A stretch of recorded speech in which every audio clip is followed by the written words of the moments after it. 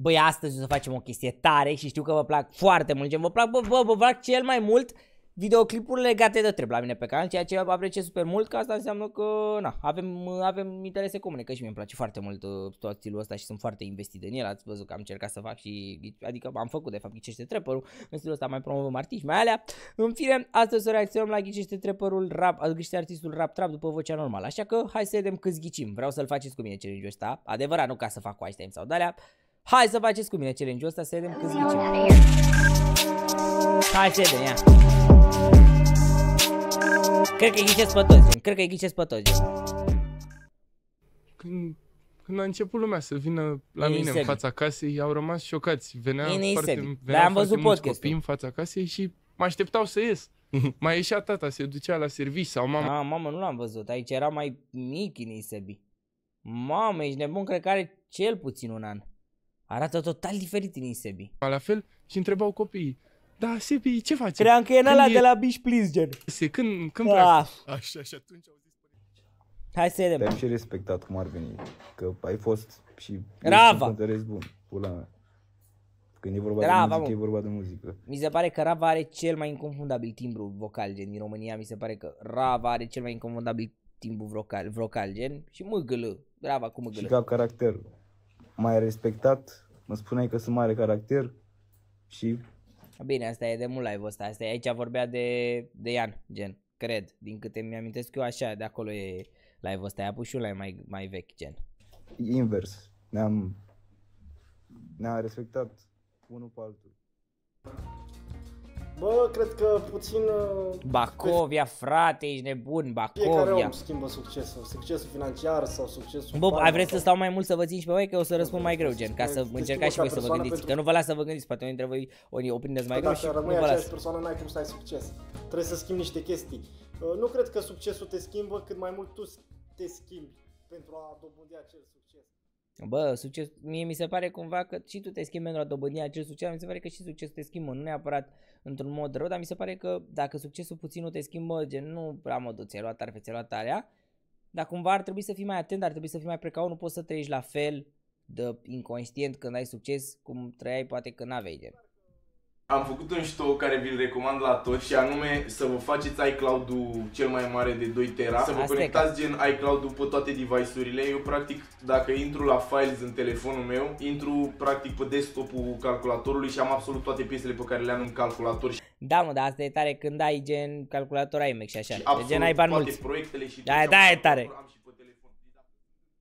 Direct, opresc mașinile, că de unde veniți, nu știu ce, că era o tâlhărie acolo, sunteți toți suspecți la percheziții, știi? Pe mine nu mă la pe mine mă Bă, mă scuzați că mai caz, dar sunt puțin obosit, dar vreau neapărat știi? să fac niște reacții, că mi-a fost dor, gen, n-am mai filmat de ceva zile. Mop trepi ăsta. Ei nu le-au găsit nimica. Mamă, ce... Și ce, pe mine mă lua Da, ce tânăr era. Am văzut că nu mai sincer. Shout out uh, Bogdi, Bogdan, Vișchi Bogdan de la mine din Hunedoara, te pupă. Nu, n-ai nicio legătură cu aia, știi? Uh-huh. Nu e vorba de cât de recunoscut sunt, e vorba pentru ce A, gata, vreau știu. să fiu recunoscut și ce vreau să las în spate. Eu vreau să fac istorie, Chila vreau să fac coric, muzică bro. de consum, de vibe și atât. Are vibe tare.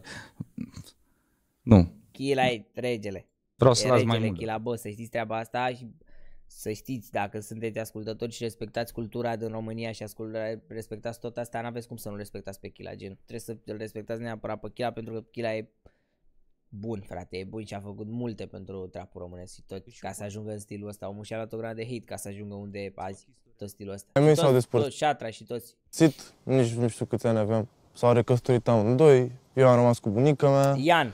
Toată lumea zice, mamă, s-au despărțit ai mei. Ian, dar știu că Ian că a rămas cu bunica, sau l-am recunoscut că era așa tare după voce din prima. Dram, Gen, la mine a fost deloc așa. Le-am mulțumit la un moment dat că gen au făcut asta și că au luat deciziile astea, pentru că probabil dacă ajungeam genul ăla de copil crescut Mamă, cu frică de, de, de comentariul ăla de la Vice de era Nane, Azteca și, și Ian, gen. Ăla e, stați așa puțin, ăsta am reacționat deja la el oricum. Nane, Azteca, Ian, Vice. Stați așa puțin că trebuie să fie aici. La ăsta, Nane, înainte de fapt. Am mă, doar... Dar nu e ăsta. Sau ăsta e? Ăsta e, dar l-au reuploadat, cred că au vrut să-l reuploadeze și i-au reuploadat fără ăștia, gen. Că ăsta e vechi, ăsta e de mult. Da, cred că asta au făcut, de aia s-au, s-au repostat gen. Sau nu știu exact, dar știu că vezi mă, s-a era. sub... N-aveam tupeu să mă exprim. Era cu Ian și cu... Au fost vremuri frumoase când ziceam frații nu pică Dar s-a dus de râpă totul și sincer nu mai... Amuli, și Amuli mi se pare că are un ăsta inconfundabil și ăsta e spiciul ăla lui de la, de la Bish Please Plică. Plus că doar ce nu am mai vorbit noi ceva timp Și s-a vorbit urât și s-au mai dat doi frați la schimb.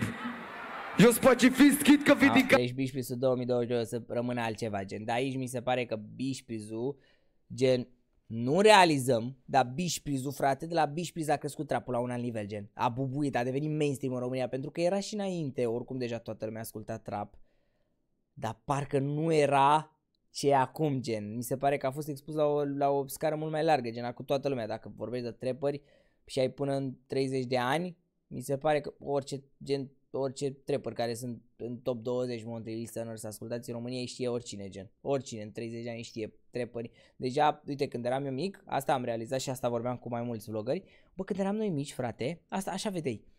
Bă, toată lumea era fiartă pe Vlad Munteanu, pe Shelly, pe Cristi Munteanu, pe Ceanu Zheng. Acum, toată lumea e fiartă pe Petre, pe Sebi, gen, pe persoane care sunt trapper, știi? Nu mai au vlogării, nu mai au influența aia la fel de mare. Adică cei mai mari influență la momentul actual sunt trapperii. Realistic vorbind, cei mai influenți, cele mai influente persoane la Cartier de palei și orice golan știe că nu ești demn de vii cu trei.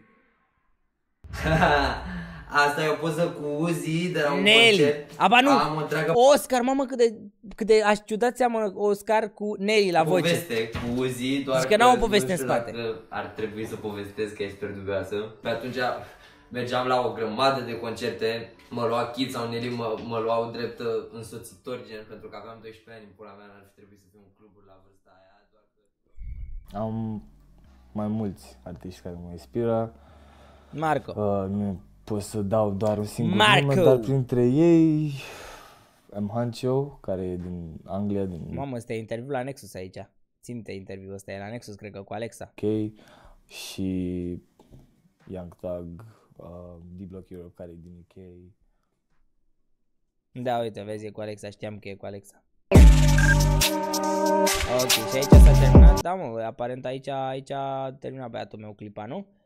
Băi, ce să zic, așa, overall, chiar, chiar tare. V-am zis încă o dată, îmi place foarte, foarte mult ce face băiatul ăsta drop. Ar trebui să posteze mai des, așa că spamați și voi. Băi, reacționează mei la tine, dă tu mai mult cu treabă. Să nu, să nu se spere pe mine, că reacționez, sper. Adică am încercat să-i dau de fiecare dată credite să menționez. Sunt foarte tari clipurile lui, așa că ar trebui și voi să, să mai dați o geană la el pe canal sau dacă vreți să mai dați aici la mine, dați și la el, abonați-vă acolo. Așa că, na, cam asta a fost cu episodul. Voi alegeți oricum la ce content să vă uitați ca idee. Cam asta a fost cu episodul. Eu am fost Meiti. Vă iubesc rău de tot, vă pup. Haide, să fiți iubiți. Pa!